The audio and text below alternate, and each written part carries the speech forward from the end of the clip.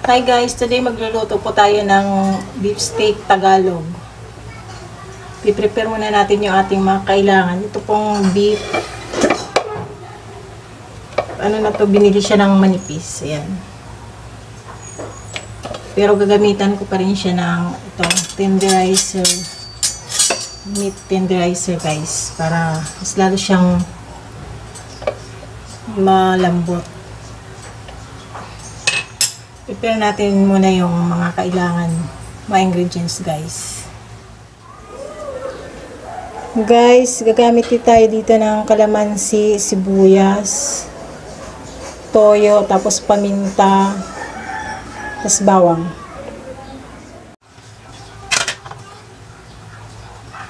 Dikin muna natin itong bawang guys.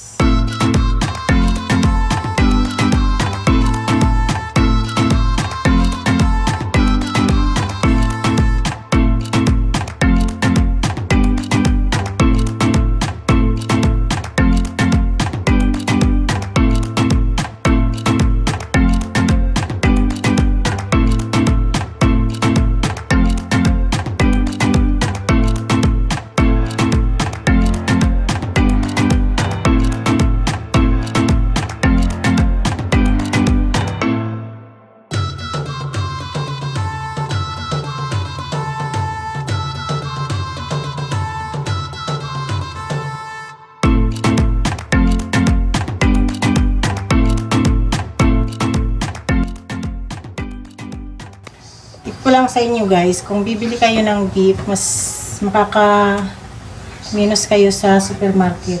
Tsaka, pag binili nyo to, ganito na siya, nakakat na siya ng ganito, minipis. Pag sa palengke kasi ikaw yung parang maghihiwa. Mas makakamura. Sa palengke guys, may pag ganitong pang beef steak, nasa 400 plus siya. Sa supermarket, 380 lang.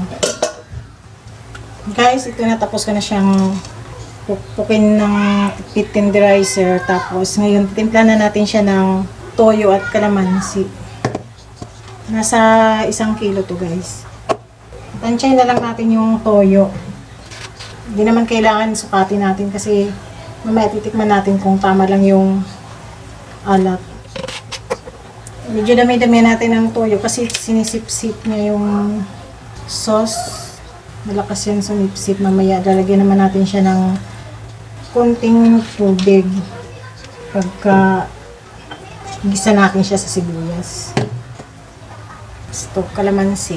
Medyo marami-rami siya kasi marami yung karne natin. Hindi ko rin muna uubusin agad.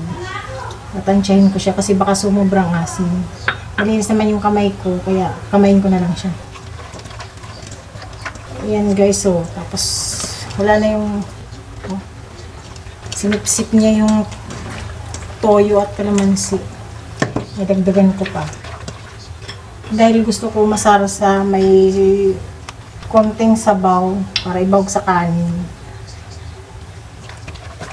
Sitikman ko siya. Tikman-tikman guys para maano yung natin yung matansya natin yung lasa. Medyo matabang-tabang pa siya. Hindi pa siya sapat yung kalamansi nilagay natin kanina kaya ubusin ko na siya. Lagay na natin yung bawang. Mamaya yung sibuyas. Mamaya na natin ilalagay yan. Kasi ipiprito muna natin itong karne natin. Sibuyas. Tapos paminta. Lagay tayo ng paminta. Hanggang yung tubig natin parang ano ang hina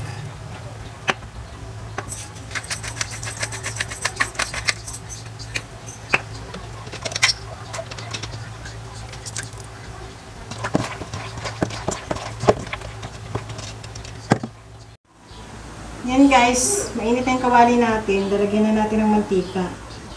Prito natin yung beef.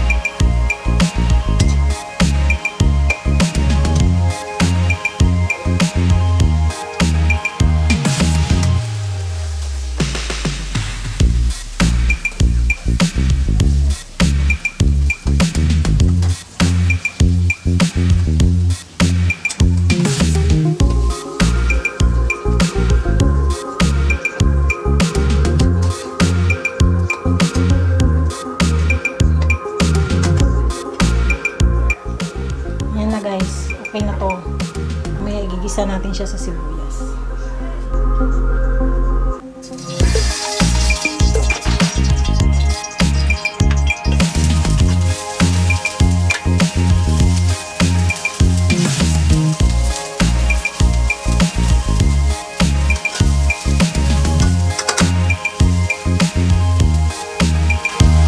Lalagay natin guys yung pinagbabara natin kanina ng karne. Ito ang sasabaw natin dito.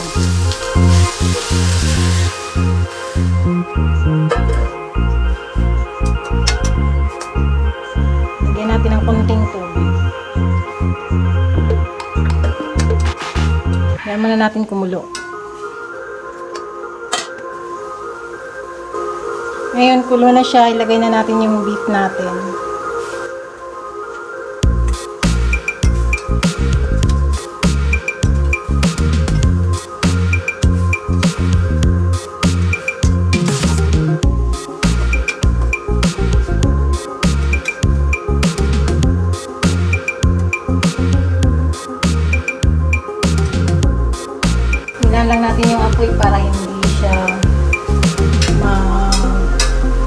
Matuyuan ng sauce. Kasi gusto natin guys na mayroong sabaw.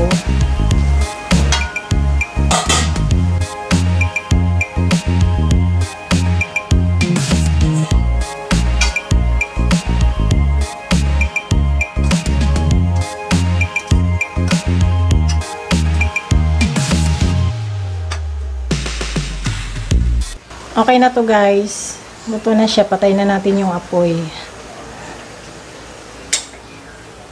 Yan. Yan ang ating beef steak Tagalog. Or beef steak. Yan. Finish na ang ating beef steak Tagalog or beef steak. Pwede to pambaon guys. Pag nagpasukan ng mga kids. Pabaon nyo sa mga anak nyo. Masarap to. Try nyo. Thank you. Please watch and subscribe guys.